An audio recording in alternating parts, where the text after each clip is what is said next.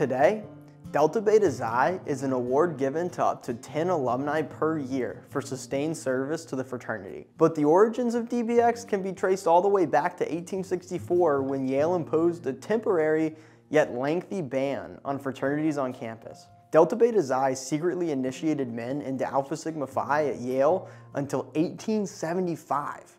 Simultaneously, the American Civil War was being fought, and the only other Alpha Sig chapter at the time was our Delta chapter at Marietta, who was down to just one member.